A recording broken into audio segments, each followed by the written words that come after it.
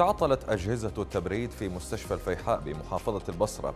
ونقل شهود عيان أن عطل أجهزة التبريد مستمر في المستشفى منذ ثمانية أيام رغم أنه عطل بسيط وسهل التصليح. ويضيفون كذلك أن الكارثة تشمل تعطل أجهزة التبريد في ردهات قسم الحروق للرجال والنساء إضافة لغرفة العمليات. ونتيجة لذلك قام أهالي بعض المرضى باصطحاب مراوح من بيوتهم لتشغيلها على مرضاهم في الوقت الذي تصل فيه درجات الحرارة في البصرة إلى أكثر من خمسين درجة مئوية في هذه الأيام. فلنشاهد.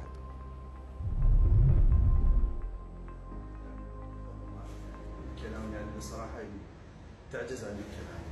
يعني جاي تلاقون حالة حروب حروب وكهرباء والتبريد ما موجود يعني حتى ما أعرف يعني بالصومال ما موجود بالهند ما موجود ما أعرف يعني. يعني كلام الحقيقة ما احكي يعني لو غير يجوز ردها يجوز نعذر بس مو ردها الحروب والتبريد واقف يعني ما أعرف المدير وين المسؤولين وين المحافظة وين المليارات اللي جات تصرف لفلان وفلان وين.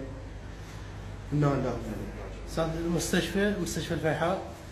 يعني هو مستشفى الفيحاء يعني أكيد يعني. هو إحنا طبعا مشخص هو المشكلة. مدير مستشفى فاشل ولا يستطيع قيادة اي يعني قسم صغير فضلا عن مستشفى كبير مثل مستشفى الفيحاء لكن ما أعرف يعني الظاهر مدير عام ليش متمسكين به دائره صحة؟ ليش متمسكه به ما أعرف يعني الظاهر هناك المآرب العطل قد صار له هذا أستاذ مال التبريد يعني؟ يعني هسه من خلال ما سالتني من 2 6 عطل التبريد. نوع العطل شنو؟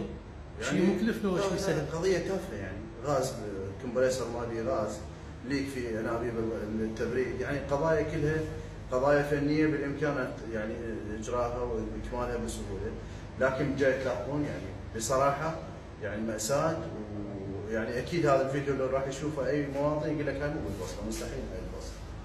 شكرا جزيلا أستاذ. عمره هو جايب هم بيته الأخ.